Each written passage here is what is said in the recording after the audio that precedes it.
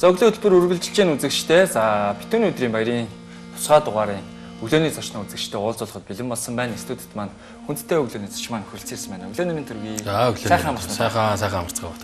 Сайхан амарлаа.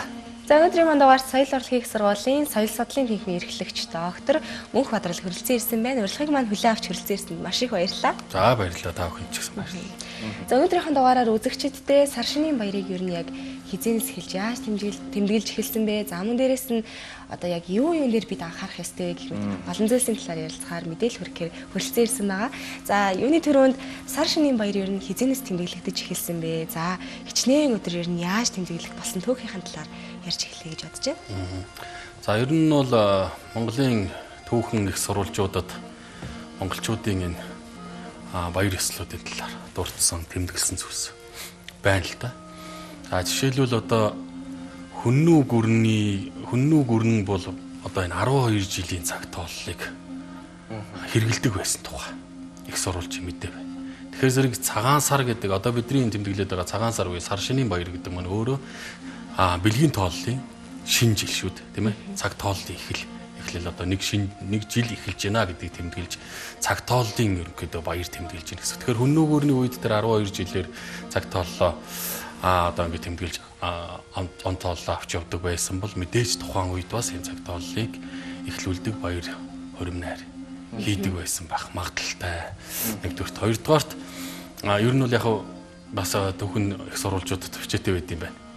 Хүннүүчүүд одоо намар одоо их том тайлах тахилга хийж тэгээд одоо адууны тараг гүйтсэн цагт их том тийм найр хорим цэнгэл хийж баярлж шинэлдэг байсан гэсэн тийм агуулгатай бас мэдээ байдаг л. Тэгэхээр энэ маань өөрөө эртнээс одоо хүмүүчүүд бол монголчуудын шууд үг шүү дээ тийм ээ. Тэгэхээр зэрэг эртнээс монголчууд маань энэ он тооллогын эхлэлийг нийтээрээ бас урамжуулж ингэж тэмдэглэдэг байсан.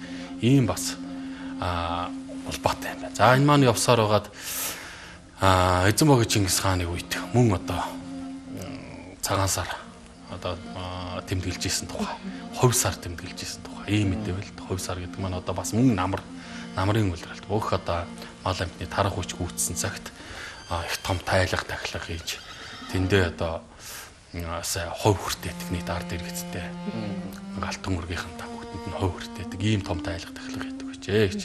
За үүнийг бол одоо бас мөн одоо өнөөгийн бидний тэмдэглэж байгаа цагаан сар юм а гэж ингэж судлаачд бас үзэж явах юм а. За тэгээ Марко Пологийн тэмдэглэлд мөн одоо цагаан баяр одоо цагаан сар гэдэг агуулга анх тэнд бичигдсэн байна л марка болгоны тэмдэглэлд одоо хөлөө хааны ордонд олон жил суусан гадны жуулчин шүү дээ тийм ээ. Тэгэхээр монголчууд бол тэр цагаан баяр, цагаан сар гэдэг энэ том баярыг их ёслол хүндэтгэлтэй тэмдэглэдэг гэсэн. Ийм мэтчлэн, ийм ихтний их сурвалжууд бол байгаад байгаа.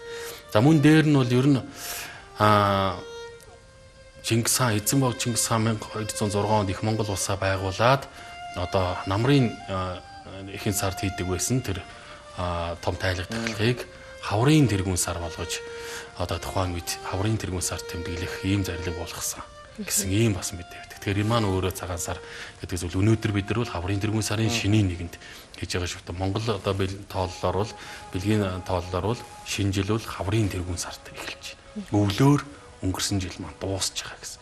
Энэ бэлтгэдлээр ингэж цагаан сараа монголчууд бол тэмдэглэсээр ирсэн. За тэгээд ер нь бол 13 дугаар зууны үед бол мэдээж тэнгэр чөтлөгтэй Монгол түмэн бол цагаан сараа а мөн одоо их том бэлэгдлийн утгаар тэмдэглэж байсан байна. Одоо хаад гарцгүй ард иргэд бүгд цагаан дээл, цагаан бүсөөр хийсэн хувц сонор өмсдөг. Бүгд цагаан морь ундаг. Тэгээ цагаан дээгийг олж эдэж эргэлж ингэж баяр ёслоо тэмдэглэж өөр хоорондоо одоо хурганы арьс цагаан бүс барьж нэгэндээ золгож амар мэндийн мэддэг задалтай жансаатай нэг нь ангийн арьс барьж ахмад эцтэй хүндэтгэл үзүүл золгодог учирдаг энэ тухай энэ мэдээсэлтүүд байна л да. Тэгэхээр энэний нь бол өөрөө монголчуудын цагаан сараа тэмдэглэж ирсэн түүхэн уламжлал. Тасралтгүй явсаар өнөөдрийг хүрч байна. Тийм ээ. Манжийн одоо дардлын үед ч тэр тодорхой хэмжээнд цагаан сараа буюу одоо жилээ онцоллоо жилийнхаа ихний одоо шин сараа тэмдэглэсээр ингээд золгосоор ирсэн. Тэгээ мэдээж энэтэй тухайн үед одоо бөө мөрөглийн зан үйлийн шинжтэйгээр тэр золгож шин сар авагддаг байсан маань нийгэм эдийн засаг нөгөө шашны нөлөөллөөр бас одоо буддын шашны бас тодорхой зан үйлүүд нэвтэрж одоо нөгөө хурганы арьс, цагаан бүс, за цагаан хадаг барьдаг золгодог байсан маань одоо борхны шашны нөлөөгөөр одоо зинхэр хадаг тийм ээ олон төрлийн хадагууд тадгуудаар багштай шараадаг барь золгодог энэ төргээд ингээд одоо олон төрлийн нөлөөнүүд тодорхой хэмжээгээр ороод энэ нь өөрөө нутагшаад Монгол төмний өөрийн зан үйл зан заншил болоод ингэж явсаар өнөөдрийг хүрсэн байна. Тэгээд а түүхэндээ бол мэдээж цагаан сарыг бас одоо 20 дугаар зуунд бол Монголын өв соёлд бас нэлээ юм түүхэн нуглаатай юм жилүүд тохиосон байна л да. Тэгэхээр мэдээ социализмын үед цагаан сар гэдэг зүйлийг энэ баярыг бол нийтээр тэмдэглэхийг хоригдж байсан. Тэр ийм үе байш шүү дээ. Тэгэхэд тэр хооронд тэр үед бол одоо манай малчин түн бол энэ бол цагаан сар гэдэг нэрээр нь энэ бол малчтын баяр юм аа. Одоо нөгөө нөгөө хүнд хэцүү өвлөө бас малчин түмэн чинь давлаа.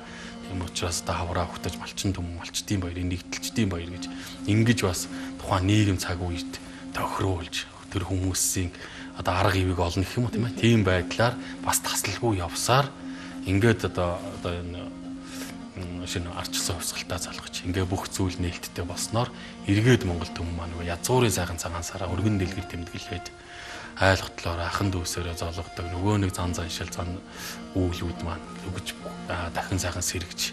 Тэгж явсаар өнөөдрийг хөрлөөдөө тэгэхээр энэ бол бидний төрт ёсны их сайхан том баяр юм аа гэж ингэж ойлгох хэрэгтэй. За өнөөдөр бол бас битүүний өдөр. За орой нар буух үеэр Монгол төм ингээд бүхэн бас сайхан битүүрдэг тийм ээ? Битүүрдэг. Тэгэхээр яг энэ битүүний өдөр бас маш олон ёс заншил байдаг. Бас болохгүй бас бус зүйлч бас хийж болохгүй зүйлүүд цэрлэх ёстой. байдаг тий. Тэгэхээр энэ өдрийн бас ач холбогдлын талаараас та үзэгчтэй. Тэ, ер нь бид бүхэн чинь дэлхийн бүх улс үндэстэн бол өөр өөр гэсэн үндэсний баяртай тэр үндэсний баяраа тэмдэглэж өөрснөө тухайн улс үндэстнийхаа тэр дотоод зэрхүү мэдэрхүү одоо national identity гэж ярддаг тэр үндэсний ижилсэл ондоошлоос ирээдэг ингэж ард олноороо нэгдэн нийлдэг ийм уламжлал бол түгээмэлтэл гэдэг. За монголчууд бол мөн адил. Монгол түмэн бол жилдээ нэг хоёр удаа би монгол хүн шүү гэдэг тэр дотоод мэдрэмжээ асар өндөрт өргөдөг. Зундаа одоо 93 наадмаар монгол наадмаараа За ингээд аврын тэргүүсээр да цагаан сараараа ингэж Монгол гэдэг тэр сайхан дотоод мэдрэгүүд сэрдэг юм аа. Одоо сэрэг сэрэгтэй их олон а үе давхарлаж сэрдэг гэж ингэж хэлэх дуртай. Яагаад гэвэл бид нар чи монголчууд өдөр болгон л монголоороо байгаа. Өдөр болгон л монгол оршихуу монгол сэрхүүгээрээ би монгол хүн гэдэг тэр ихтгэл үнэмшил, омгшил тийм ээ бахархал бардамнал бүх зүйл маань бидэнд байгаа шүү дээ. А гэхдээ яг энэ жилд нэг наадам цагаан сар хоёроор тэр хэвийн хэмжээнээсээ олон дахин гэж оргилж буцалж Тэгээ илүү их тийм нэг өөрсдийнхөө нарийн нандин болгоно хамаг хөв соёл хамаг л одоо өвдөөс үлдээсэн гайхамшигтай сайхан бүхнийхээ огтээж дээр ингэж гэр бүлээрээ ахан дүүсээр аймаг хотлоор уус даяараа ингэж баярлж багтдаг ийм хоёр сайхан том баяр. Тэгэхээр энэний нэг маань одоо яалтчгүй цагаансаар. За тэгэхээр цагаансаар маань а одоо урдч их томхон ажлууд хийж гүйцэтгэж шүү дээ. Мэдээж цагаан сартаа бэлтгэх нь одоо эртнээс хоол зоогоо бэлтгэх нь тийм ээ бүр одоо намрын одоо өвлөө өгцсөн идэж уушны цагаараа л эхэлнэ шүү дээ. За цагаан сартаа ямар одоо идэж одоо махаа чанах үе тийм ээ ямар ууц чанах тавих уу. За тэрийг одоо намраасаа эхлээд бэлтэж тэр хоноо одоо үлдээ идэх юм тийм намрын эцэндээ ичиж болохгүй шүү дээ. Тэр жаахан хүүлээд анзаарлаа төхөөж тэр хоноо ингэ товлно. Тэр үл их хүндтэй. За тэгээд дээр нь одоо чанах бүхэл махнуудаа бэлдэн, үүцлэн, хадгална. За тэгээд а бууз гэж одоо тийм ээ цагаан сарынхаа одоо эдийн ундааны бас бидний уламжлалт тоол хүнс тэр бууза чимхэн ах дүүс аймаг тийм ээ аав ээж тэр очиж өрөвтөн чимхэж бэлдэж өгнө гэдэл ингээд л холоос ажил эхэл. Тэгээд одоо битүүн гэдэг өдөр бол өөрөө их олон утга учиртай байна. Битүүн бол одоо ерөнхийдөө нэг төрөний бидний ярьдаг монголчуудын эртний монголчуудын нэг нэг саруудаа нэрлдэг байсан тэр хувь сар буюу одоо намрын одоо тэр бүх тарах малын тарах хүч гүйцсний дараа хийдэг тэр хувь сард хийдэг тэр том тайлах тахилгын одоо үргэлжлэл юм а гэж манай ардын багш дулан багш бол үтсэн байна лээ. Тэ тэгэхээр зэрэг тэр маань өөрөө яг тэр өмнөх жилийн одоо сүүлийн өдөр. Тэгэхээр зэрэг ингээд жил битүүрж шít тийм ээ жил битүүлж ингээд жилийн сүүлийн өдөр. За тэгээд маргааш бол чин жил эхэл. За нэгдүгээр. Хоёрдугаар битүүн гэдэг маань өөрөө а тухайн сарын сүүлийн өдөр учраас таг одоо харанхуу саргу ингээ харанхуу шөнө бас битүү тийм ээ. За ингээх мэтлэн. За тэгэл одоо бэлэгдлийн их том утга байна шүү дээ. Битүү чинь одоо өмнөх жилдээ үтсэн ууга шүү харуусал зовлон муу муха бүхэн ингээд битүүлж хааглаа. Одоо шин сайхан цаг маргааш асахаа тэгэхээр өвгөн жил одоо одож өнтөө сайхан шин жил ирлээ гэхэд ингээд Монгол түмэн бэлэгдлийн амаар орондоо зөндөө сайхан мэндийн сагууг солилцоод ингээд эхэлдэг.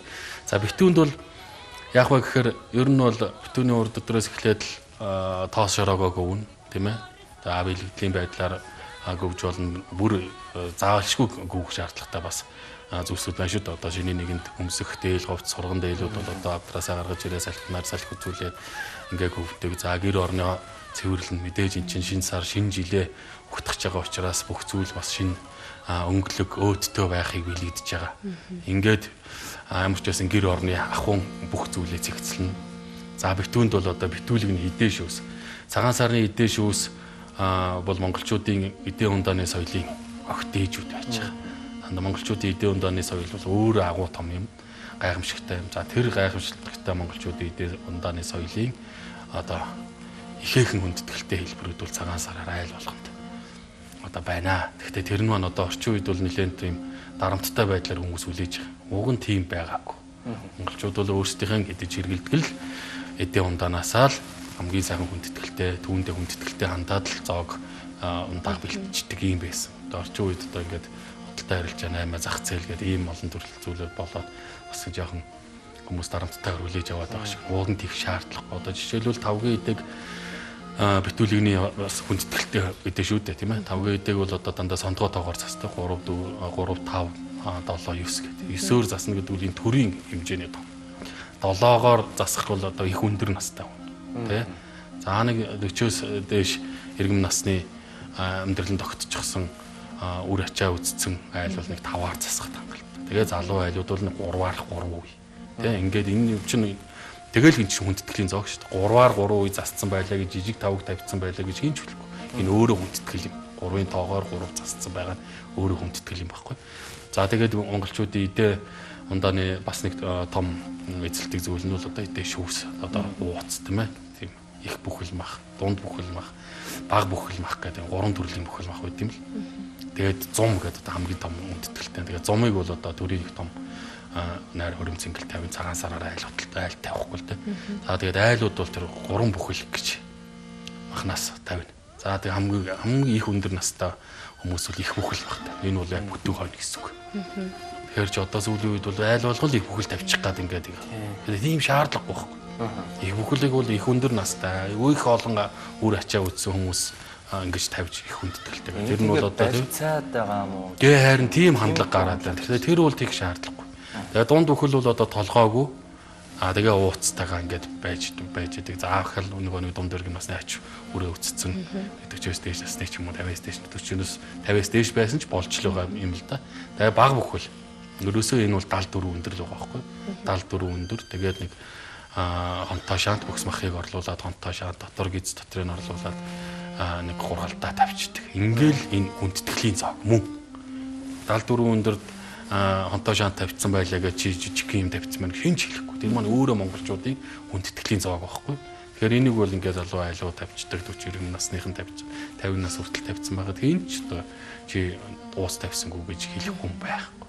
Тэгэхээр энэ мэтчлэн ингээд чинь монголчуудын идэ ундааны шүүсийг айл өөрсдийнхөө боломж нөөцөд тулгуурлаад өөрсдийнхөө идэж ууж байгаа зүйлстэй тулгуурлаад ингээл гол нь хүндэтгэлтэй сайхан түүндээ хандаад сайхан засаад ингээд л тавьчих.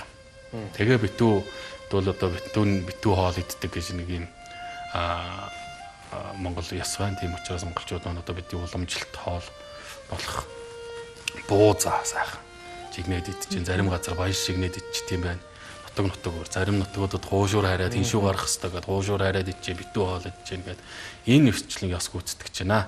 За тэгээ ингээд өдөө шүүснийхаа хэсэг гүйцэтгэж чинь. За дээр нь одоо энэ бурхны шашны буддын шашны бас нэг зан үйлүүд бас байна. Одоо жишээлбэл буддын шашинтай хүмүүс бол гүйцэтгэж байна. Жишээлбэл одоо жишээлбэл битүүний ойр айл болгоноор лам бурхан морилдгоо гэж ингэж үзээд лам бурханы унж яваа хүлгийг услах усна гэдэг хүмүүс тийм ээ идэх одоо өвснө гэд гаргана.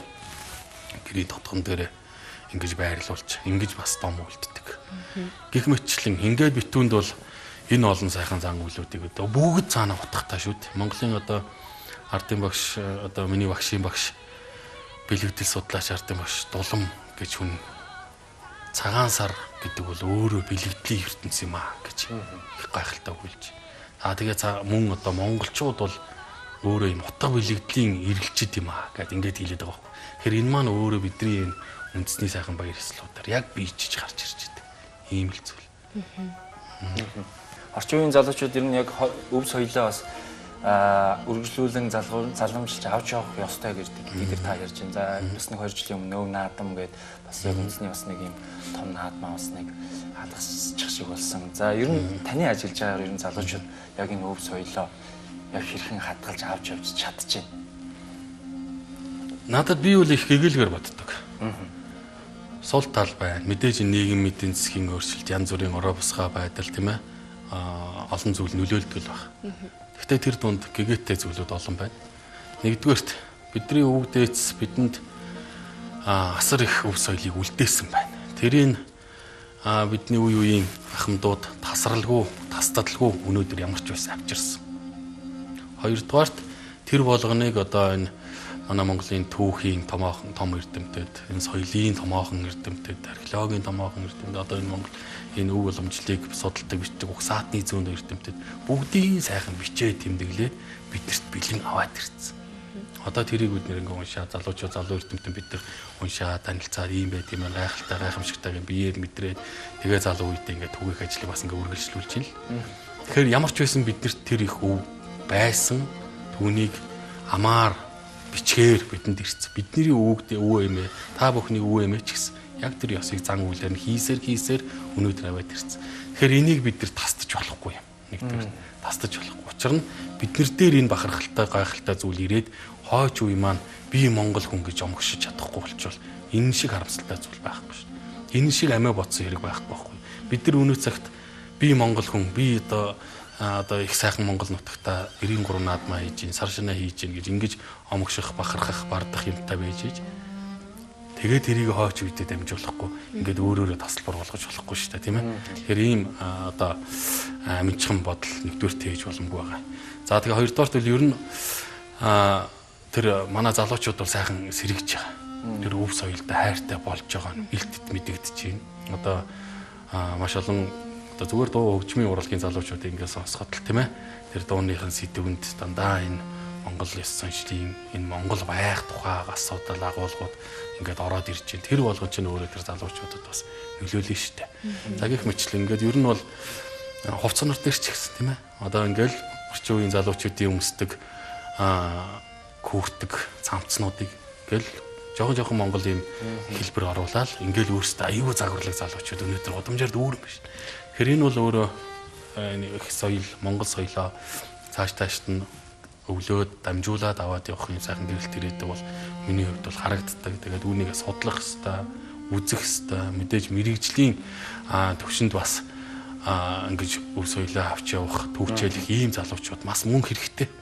Тэ? Тэгэхээр зэрэг бас мэрэгжлийн соёл судлаач ийм залуучууд бас олон болоосоо гэж би бол бас багш хүний хувьд бас байнга бодож явдаг. Тэгээ залуучууд маань бүгдээрээ сар шиндээ сайхан шинэлцгээ хэрэгтэй аав ээж өвөө эмээдээ очиж хүндэтгэл үзүүлнэ гэдэг бол тийм цааргалах зүйл биш шүү л гэж хэлмээр байна. Энэ бол өөрөө чиний эхлэл чиний одоо авч явж байгаа энэ удам судар чиний үргэлжлэл чинь л энэ өдрүүдэд илүү татарагддаг. Ах дүүстэйгээ сайхан танилцах учиртай бие биенээ мэдэх хэвээр. Цагаан сар гэдэг чинь нөгөө талдаа бид рүү хэллээ төр төсны их том байр. Нөгөө талдаа гэр бүл ургийн их том Гэр бүл гэдэг маань өөрөө баг төр шүү дээ. Баг төр тий. Тэгэхээр ерөөсөө төрийн хэмжээний баяр гэдэг ш. Тий. Ингэж ялгах. За маш их баярлалаа танд бидний урилгыг хүлээн авч студид мань хүрэлцэн ирсэн. Маш үнэтэй зөвлөгөөг бас үзэгчтэй болон биднэрт өгсөн бас маш их баярлалаа. Тэгээд бас сар шинэ тэмдэглэл гэж байгаа нийт Монголын ард түмэнд бас сар шинийн төшөөлөхгүй та. За тэгээ баярлалаа. Тэгээд өнөөдөр битүүний сайхан өдөр вар жил маань одож маргааш өглөө бүгдээрээ туул ажил огтгож байна. Тэгээд туул ажилдаа Монгол төмөн зон олноороо илгэрээ их амгалан төрлөөрөө төвшин амгалан төрмөн төвшин тайван ард иргэд зон нь амгалан хөл өсөр гараа зарт тийм ээ ингэж амар жимэр сайхан эх ондоо цугаараа улам мөнөртгөн олвуулаа болохын ерөөлөг таливъя та бүхэн сайхан битүүлээрэ За маш их баярлалаа. Баярлалаа үзэгчдээ өглөөний мэнд Улаанбаатар хөтөлбөрийн маань энэ удаагийн дугаарт соёл урлагийн сургуулийн соёл судлалын тэнхимийн эрхлэгч доктор Мөнх Бодрол оролцлоо. Танд маш их баярлалаа. Аа гэлалаад. Хамтгаа үзэгчдээ маш их баярлалаа. За битүүний өдрийн баярын тусгай дугаар энд хүрээд өндөрлөж байна үзэгчдээ маргааш өглөө шинийн нэгний цоо шингийн дугаараар иргэн уулзлаа. Тэр баяртай. Сайхан битүүлээрэй. Сайхан битүүлээрэй.